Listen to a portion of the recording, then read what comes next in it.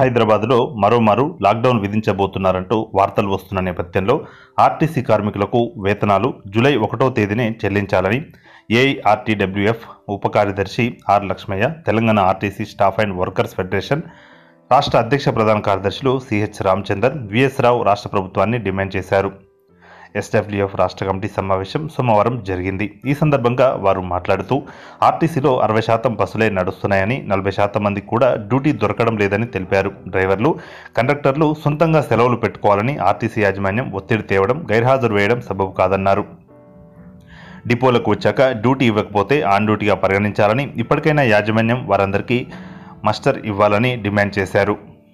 Corona వ్యాప్తి చెందుతున్న క్రమంలో నిత్యం ప్రజలలో ఉండి పనిచేస్తున్న డ్రైవర్లు కండక్టర్లకు రక్షణ పరికరాలు ఏర్పాటు చేయాలని కోరారు. కేంద్ర ప్రభుత్వం కార్మిక చట్టాలలో మార్పులు బొగ్గుబావులు ప్రైవేటీకరణ ఆయిల్ కంపెనీల అమ్మకం ప్రభుత్వ రంగ సంస్థల వాటాల అమ్మకం వంటి ప్రజా వ్యతిరేక విధానాలను నిరసిస్తూ జూలై మూడో తేదీన జరిగే దేశవ్యాప్త నిరసన దినాన్ని జయప్రదం చేయాలని కార్మికులకు పిలుపునిచ్చారు.